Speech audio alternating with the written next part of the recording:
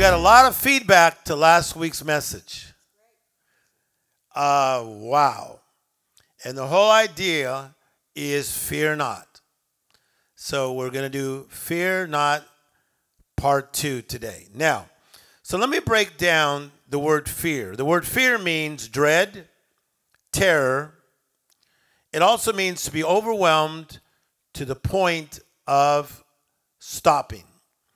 So I'm going to have my amazing audience of Marcus, our board member, Pastor Page, amazing teacher, world shaker, former fashion model. So you guys are going to repeat. You guys are my audience today, okay? All right, so here's what you're going to say say overwhelmed to the point of stopping.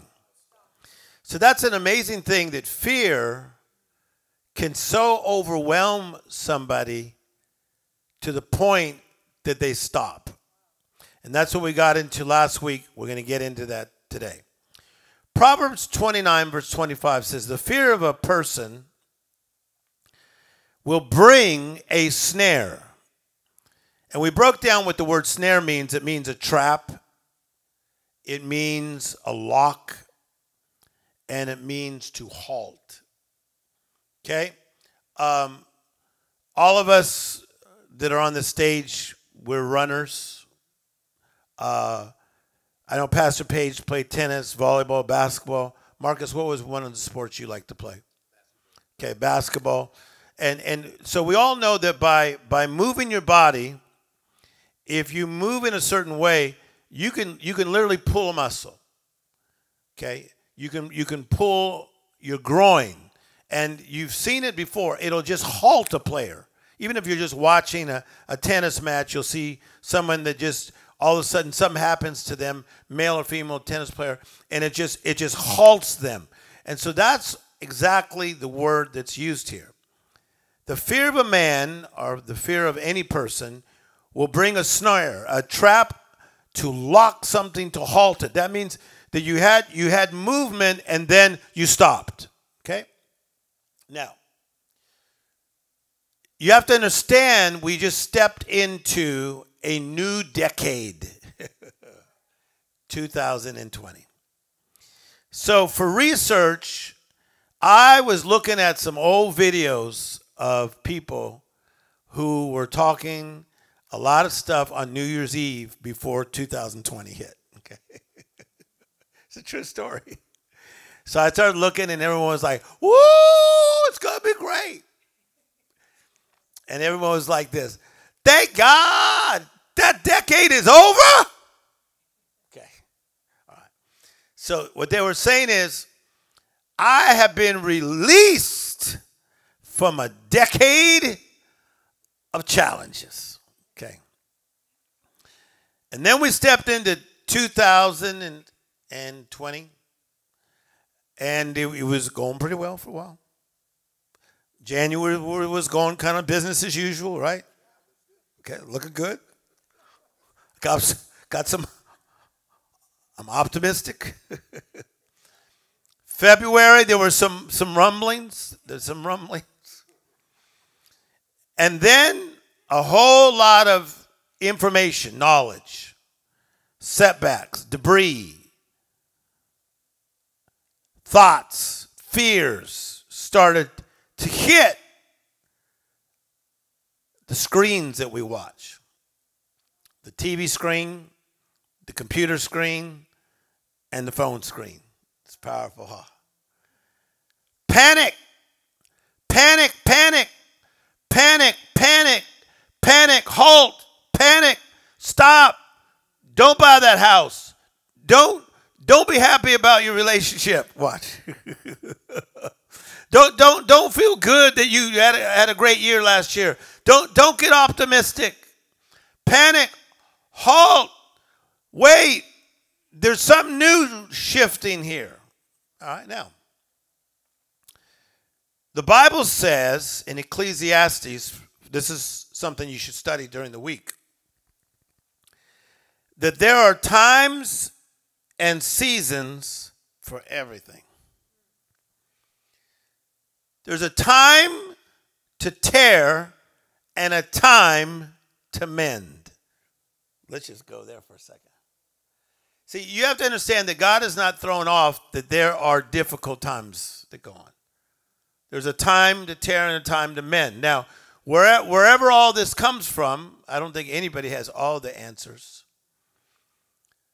But there's a time to tear and a time to mend. There's a, there's, there's, there's a time where, where there will be there will be difficulties that, that happen.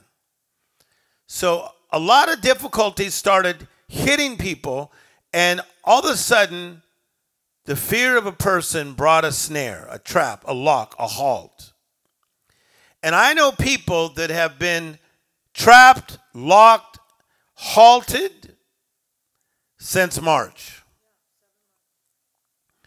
They've been locked in the houses, they've been locked in their mind, they've been locked in their vision, they've been locked in their joy, they've been locked in their peace, they've been locked from their family, they've been locked from their destiny, and I believe that that is unscriptural. Now, if I'm supposed to quarantine myself, you both know I do. I wear a mask. I wash my hands.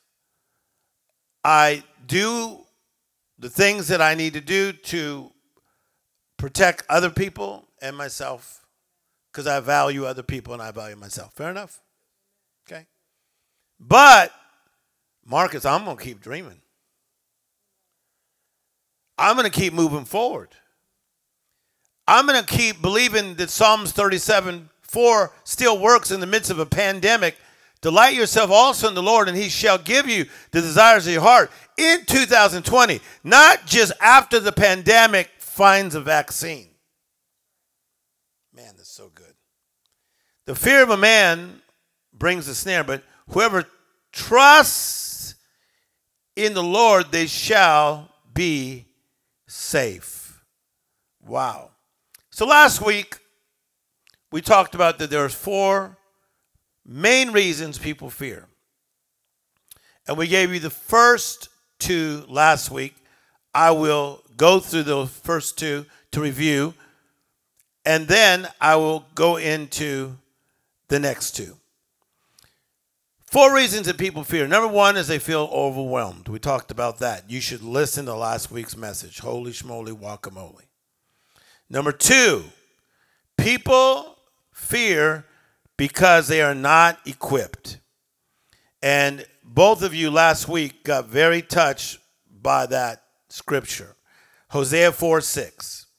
It says, For my people are destroyed for their lack of knowledge.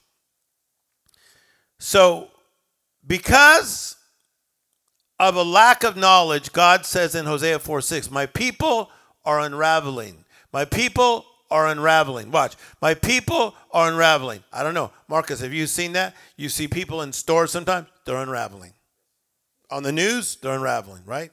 On the streets, they're unraveling. In the churches, they're unraveling. In the synagogues, they're unraveling. In people's families, they're unraveling. Good teaching, right? For my people are unraveling for their lack for their lack of knowledge. Now, so I looked up the word lack, and here's what it means it means that you do not have an, a, a sufficient amount. you lack. And this reminds me of Marcus when we were kids. Uh, we would want to go from Whittier, California to Huntington Beach. But you needed something called gas. and so, so like somebody would have a Volkswagen or, or something like that, okay? And you would pitch in. Do you remember these days? You'd pitch in. Marcus, how much you got? Got a dollar fifty. okay. Teresa, how much you got? A dollar eighty. Paige, how much you got? Two dollar. Okay, we can get there. Okay, but so the whole idea was to have enough money to pay for the gasoline to get you 23 miles from Whittier to Huntington Beach and back because you got to get back.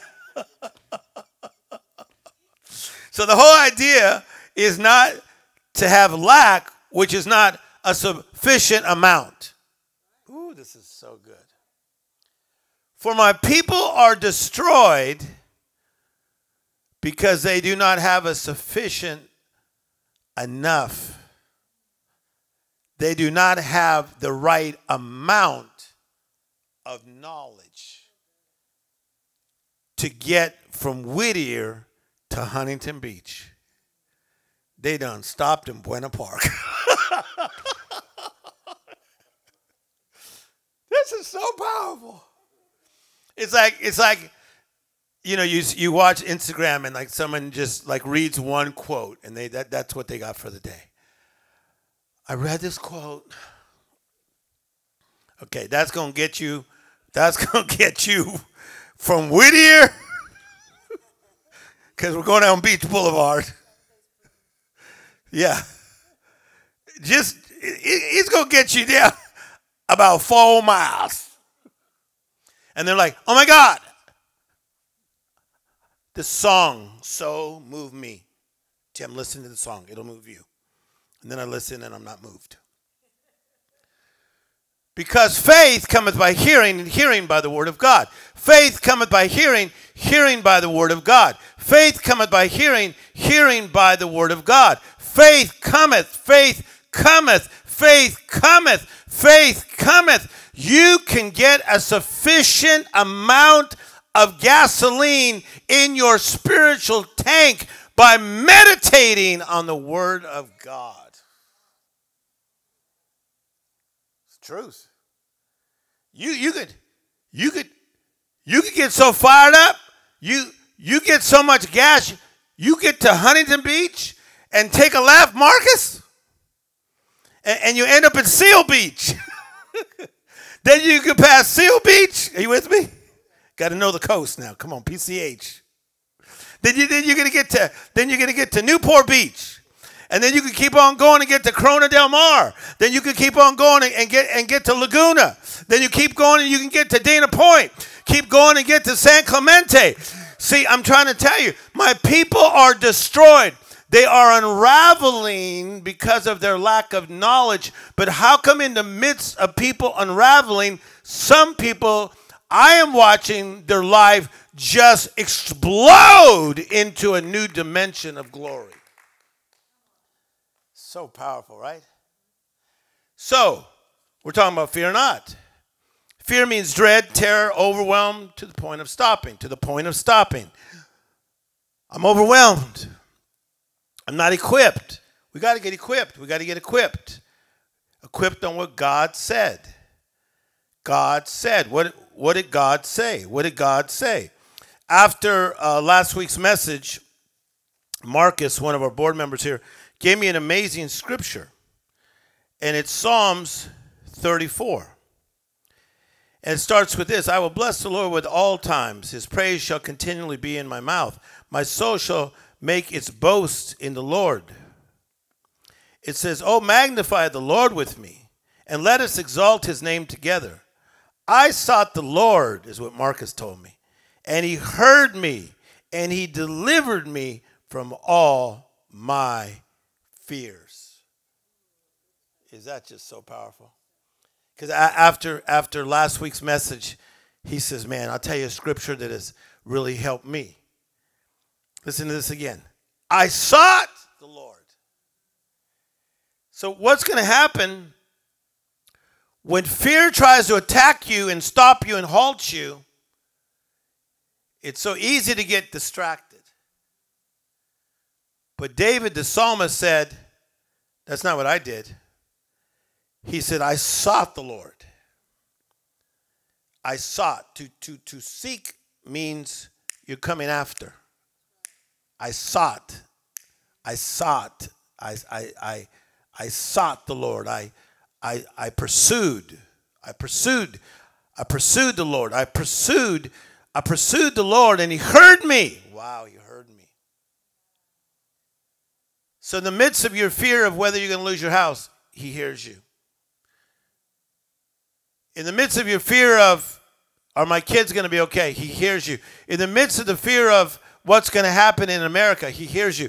In the fear of what's going to happen in the world, He hears you. In the fear of what's going to happen with racism and all the turmoil, He hears us. In the midst of the chaos, God hears us. I sought the Lord. I sought the Lord. I pursued the Lord, and He heard me. And He delivered me. So I've done a lot of research on this. The word delivered, a lot of times you'll see this in the Old Testament where it talks about the right hand of the Lord. That's like the strong arm of deliverance when he just comes in and just delivers. This is this is the idea is that he came in with might. You know what's going to happen? In the midst of your plight, God's coming in with might. I'm sorry, but I'm a good rhymer.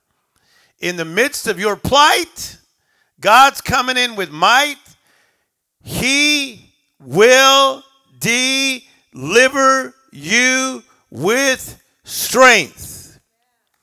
He will deliver me, and He will deliver you from all, all. My big group here, say it together. Say all. He's going to deliver you from all your fears. Ooh. Well, I have a fear of He'll deliver from all your fears. Well, I then I fear this. He'll deliver you. I, have been seeing somebody to try to help me. He will deliver you from all your fears. So, four reasons that people fear they get overwhelmed, they're not equipped. And the third reason people fear is that they feel like they might lose even more than they've lost already this is so good. That's where a lot of people are that I talk to. They're like, Tim, I had this happen in the 60s. I had this happen in the 70s. Come on, somebody. Had this happen in the 80s. This happened in the 90s. And they fear because they think, I can't take many more losses. I believe that God is a restorer. I believe in Zephaniah chapter 3, verse 16, that God will rescue the lame, He will renew your name, and He will give you fame wherever there was shame, and He will restore your fortunes before your very eyes. Instead of waiting around and saying, Will I lose more? Have faith in God and get ready to take back what the enemy has stole from you. It is time for your comeback. Somebody clap on the platform. Four reasons for fear. They feel overwhelmed. Number two, they feel like they're not equipped. They feel like they might lose more. Okay, I got to get that out of their mentalities, you guys. I got to get that out of their. I got to get that out of their mentality that they're gonna that they're gonna lose and they're gonna they're gonna lose and then now now they're on a losing streak. No, God can stop your losing streak right about now. The Bible says this, Proverbs chapter 13, verse 20, in the Message Bible. It says, unrelenting disappointment can leave you heart sick, but a sudden good break can turn your life around. I'm trying to tell you, some of you have been disappointed and disappointed and disappointed and disappointed and disappointed, but a sudden good break, a sudden good break. God is about to give you a sudden good break in October, a sudden good break in November, a sudden good break in December. God is giving you a sudden good break. God is giving this church a sudden good break. I believe there's somebody watching here today. I tell you, you're going to just give us a heap of money so we could do what we need to do. I've been in church meetings where people have come up and gave a million dollars at one time to a church and a church building, and they said, you know, I, I, I just I just want to do something that lasts longer than my lifetime. Why don't you help us? Give us a sudden good break so we can help more people. And you watch as you help somebody else get a break, breaks come to you. What you make happen for others, God will make happen for you. Four reasons people fear overwhelmed. Number two, they're not equipped. Number three, they're afraid they may lose more. And if we're all, all honest, you've probably been there before. You get you, you go into a losing season. You've been there before. I've been there before. You feel like, oh my God, I'm I'm I'm I'm in, I'm, I'm in a losing season. But what's going to happen is that God is the author and the finisher of your faith. So not only does that does God start something, his mind is on finishing it. So he sees that you have fear and maybe you're paralyzed by fear and you're in a trap and you're locked and you're halted, but he's saying to you through the power of the Holy Spirit, just get up one more time. Just get up one more time because you're going to get a break. Um, we have a brother named Randy who's in heaven, and he passed away. And a um, couple couple months after he, he, he passed away, I had to go do a, a conference in South Africa. At that conference was Brian Houston. Uh, at that conference uh, was also um, just just just a lot of good speakers. Ray McCauley was the one that was leading the conference. It was it was like a who's who of, of speakers.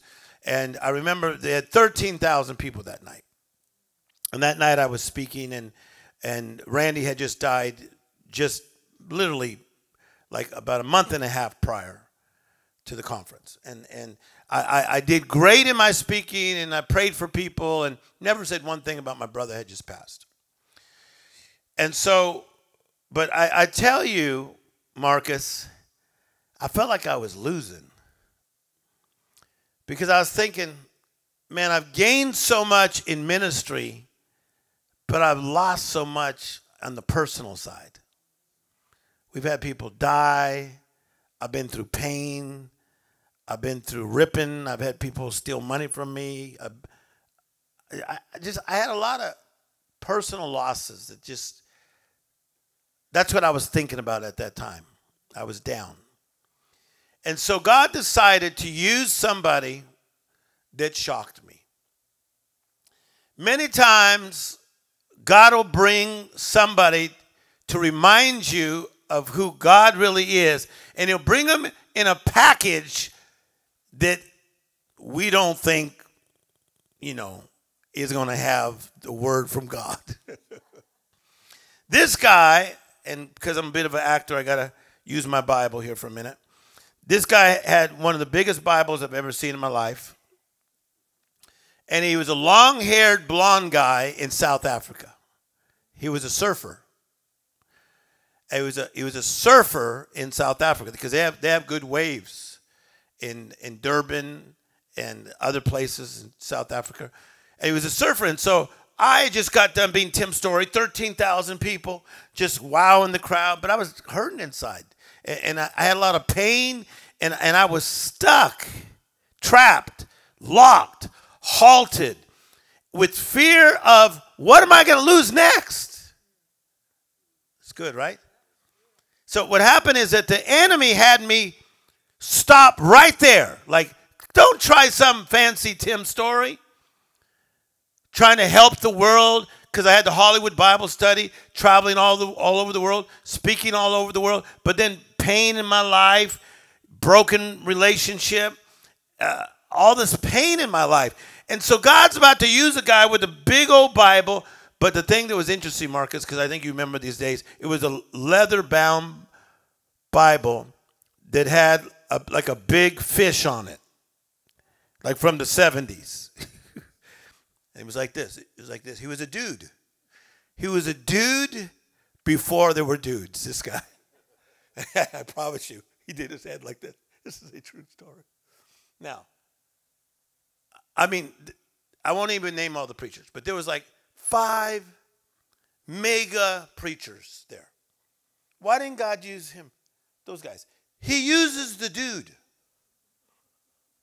So the guy goes like this. He goes, I'm up on the platform praying for people after the service because I, I was known for that, right? I'd stay forever. I'd pray for people. And all the other preachers were in the back drinking cranberry juice. So I was praying for everybody. So the service is over. I just praying for people forever. And he's going like this to me. Like, dude, come here. So something in me goes, give the guy a shot. So I come up to him and he goes, I got a word from the Lord for you. I'm thinking, oh, please. Look at your Bible, buddy. that Bible, it's from Calvary Chapel, Costa Mesa, 1968. the Jesus Movement with Chuck Smith. and Calvary Chapel people, you know I love you and Jim Kempner, my buddy, doing those concerts that he used to do. That's it looked like back in that day. He goes, "I got a word f- from God for you." So this is going to blow you guys away. And I don't even know if Pastor Stefan's ever heard this story like this. Now, Marcus, nobody at the conference except the senior pastor, Pastor Ray McCauley, knew that my brother had died because I told, "Don't say anything to anybody," because I didn't want anybody feeling sorry for me. And it wasn't the days of social media like today where you put things up. So nobody knew but him. And he didn't overly coddle me, he just made sure I was okay. So this guy says, like this, he goes, he goes, no matter what happened to your brother, and I go, whoa. He goes, no matter what happened to your brother, the loss of your brother? I go, wait, wait, wait, wait, wait, wait. How do you know that? He said, when I was sitting in my chair, I was about to go home, and God downloaded a word for you and said he just lost his brother. And the enemy is telling him to just cave in right now. Go tell him that I am with him, meaning God. So here's what he says. He goes, No matter what happened to your brother, watch, he's got his big Bible like this, never forget it. He's rocking his head. He says, The Lord is with you, Tim Storey. He kept saying my name. He's going this. I'll never forget this. One of the most powerful things I've ever heard. He says, Stand up in the strength of God. That's what he said.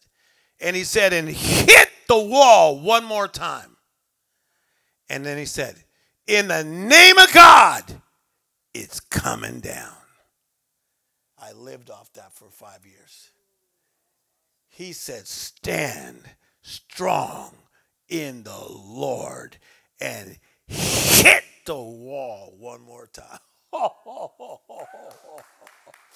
because when you're paralyzed by fear, when you got COVID 19, then you got racism, then you got elections, difficulties, you got earthquakes, you got tsunamis, you got hurricanes, you got confusion, you have derelicts trying to be leaders. People, listen to me.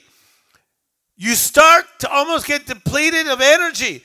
This guy said, Be strong in the Lord and hit the wall one more time. But then he said, In the name of God, it's coming down. That's exactly what happened. Marcus, that's exactly what doggone happened. I hugged that surfer forever. I was like, dude, dude, dude, dude, dude, dude, dude, dude, dude, dude, dude, where's my car? Almost done. Four reasons people have fear. We get overwhelmed. We're not equipped. We're afraid we're going to lose even more. I was there. But this guy said, Be strong in the Lord. The fourth one is we fear the unknown. The unknown. These are the questions everyone's asking me. What's going to happen? What's next? What's next? What's next? What's next? What's next? What's next? What's next? Where are we? We fear the unknown. The unknown. We fear the path we've not traveled. They feared Vietnam when they never been to Vietnam. They feared the Korean War during the Korean War. They feared World War One, World War Two. Never been involved in that. We feared the Gulf War, things people have not gone through. We fear many times the unknown. We fear the unknown territory. We fear the unknown places. But what if we didn't have to fear because we have a God that has already gone before us? Wow. What if I could say, God, to be honest with you, I feel overwhelmed. But I'm going to do what you said in Proverbs chapter 3, verse 5 and 6. I'm going to trust in you with all my heart because I've never been here before. I never had to put on a mask. I never had to wash my hands so much. I never had to have this part of my career shut down and that part of my career shut down and this part of my shut down. But God, in the midst of everything, because you're my father, I'm going to talk to you directly and I'm going to talk very, very, very real. Lord, I'm going to live in Proverbs 3, 5, and 6. I'm going to trust in you with all my heart. And I'm not going to lean on my own understanding because my own understanding is causing me to fear. But in all my ways, I'm going to acknowledge you. And that's what's happened to me since COVID 19 hit, Marcus. I've never worshiped God like I do since I was 20 years of age because I never had this much time. I've never studied as much. I spoke at a conference the other day, another big secular one, and, and they said it again. They said, What did you just do to that building? The whole place was just filled with hope. Because you fill yourself with hope, and hope will come out of you. See, trust in the Lord. I close. With all your heart, Tim Storey. In all your ways, acknowledge me and what? And what? Then what? God. And I, God, shall direct your path. The fear of a man bringeth a snare, but whoever trusts in the Lord shall be safe. The congregation church shall be safe.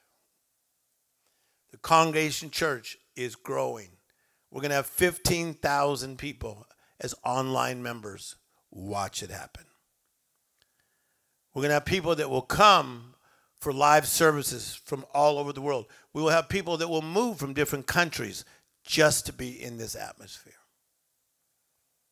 The atmosphere not of a powerful woman or a powerful man of, oh, that is the best woman speaker I've ever heard, or the greatest man speaker. Please, should we not get over this silliness by now? but an atmosphere of praise, an atmosphere of God, an atmosphere is that He is Lord. If you've never become a Christian and asked Christ into your life, today is the day it's going to happen. Some of you are watching and you say, Tim Storey, I used to walk strong with God, but I feel like I walked away. But today I want to come back.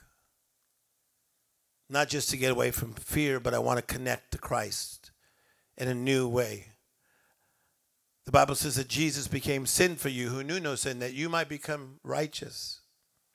And You're going to lift up holy hands, not hands where you just keep remembering your past. If you're a person who walked away from Christ and you're coming back, or you've never become a Christian, I'm going to pray for you right now. Just say these words. Say, Dear Jesus, come into my life in a new and special way. Say, Jesus, be Jesus in my life. And let me pray as an experienced pastor over your life. God, I pray that you would break fear off people. For you have not given us a spirit of fear, but a power, of love, and a sound mind. Break fear off people. Fear of what can happen in their finances, in their jobs, in their families. Break fear. But Lord, let us see the light and that you are there for us, that you are guiding us and protecting us. We thank you, Lord, for what you're doing. In Jesus' name. Hello, it's Tim Storey. I hope you enjoyed the service. If so, subscribe. If not, still subscribe. It's good.